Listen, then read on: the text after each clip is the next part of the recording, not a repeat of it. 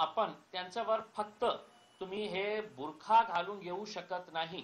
मग आम्हालाही माहीत आहे की याच्यामुळे अनेक असे मुली असतील जे शिक्षणापासून दूर होतील.